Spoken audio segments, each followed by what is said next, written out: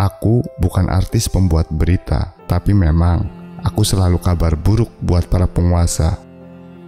Kalau teman-temanmu tanya, kenapa bapakmu dicari-cari polisi? Jawab saja, karena bapakku orang berani. Kata-kata bijak, Wiji Tukul.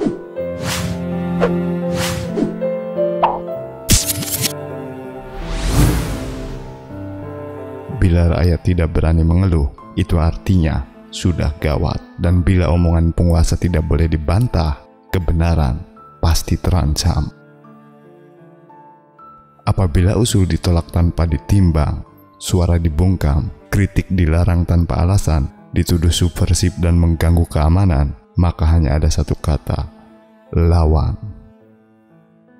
Sesungguhnya, suara itu bukan perampok yang ingin merayah hartamu. Ia ingin bicara mengapa kau kokang senjata dan gemetar ketika suara-suara itu menuntut keadilan.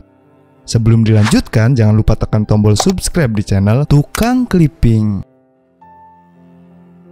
Apa guna punya ilmu tinggi kalau hanya untuk mengibuli? Apa guna banyak baca buku kalau mulut kau bungkam melulu? Puisiku bukan puisi, tapi kata-kata gelap yang berkeringat dan berdesakan mencari jalan. Suara-suara itu tak bisa dipenjarakan. Di sana bersemayam kemerdekaan. Apabila engkau memaksa diam, aku siapkan untukmu pemberontakan. Kamu calon konglomerat ya? Kamu harus rajin belajar dan membaca, tapi jangan ditelan sendiri. Berbagilah dengan teman-teman yang tak dapat pendidikan. Jika kau menghamba kepada ketakutan, kita memperpanjang barisan perbudakan. Ia tak mati-mati, meski bola mataku diganti. Aku berpikir tentang gerakan, tapi mana mungkin kalau diam. Jangan mati sebelum dimampus takdir. Sesungguhnya, suara itu akan menjadi kata, ia yang mengajari aku untuk bertanya.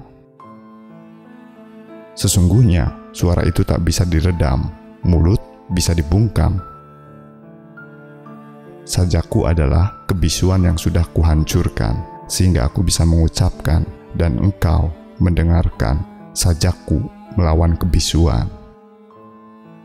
Aku menulis, aku penulis, terus menulis, sekalipun teror mengepung.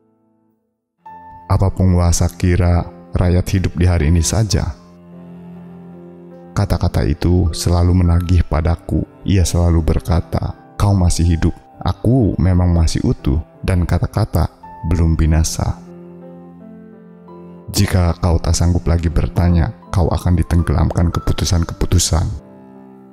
Kutundukkan kepalaku bersama rakyatmu yang berkabung. Aku mengucapkan kepada hidup yang jelata, merdeka. Kami satu, buruh, kami punya tenaga. Jika kami satu hati, kami tahu mesin berhenti, sebab kami adalah nyawa yang menggerakkannya. Jika kami bunga, engkau adalah tembok, tapi di tubuh tembok itu telah kami sebar biji-biji. Suatu saat kami akan tumbuh bersama dengan keyakinan. Kutundukkan kepalaku kepadamu kawan yang dijebloskan ke penjara negara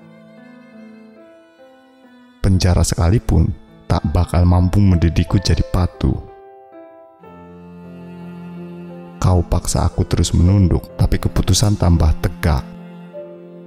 Suara-suara itu tak bisa dipenjarakan. Di sana bersemayam kemerdekaan. Jika kau tak berani lagi bertanya, kita akan jadi korban keputusan-keputusan. Jangan kau penjarakan ucapanmu. Kami adalah bunga yang tak kau hendaki tumbuh engkau lebih suka membangun rumah dan merampas tanah. Kita tidak sendirian, kita satu jalan tujuan, kita satu ibu pembebasan. Apa penguasa kira ingatan bisa dikubur dan dibendung dengan moncong teng? Umur derita rakyat panjangnya sepanjang umur peradaban. Mogoklah, maka kau akan melihat dunia mereka, jembatan ke dunia baru, dunia baru, ya, dunia baru. Jika aku menulis dilarang, aku akan menulis dengan tetes darah. Dalam keyakinan kami, di mana pun tirani harus tumbang. Kau lempar aku dalam gelap hingga hidupku menjadi gelap. Derita rakyat selalu lebih tua, walau penguasa baru naik menggantikan penguasa lama. Ngapain kamu? Orang lain menderita, kamu mewah sekali, priayi sekali kamu. Sajaku adalah kebisuan yang sudah kuhancurkan, sehingga aku bisa mengucapkan dan engkau mendengarkan sajaku melawan kebisuan.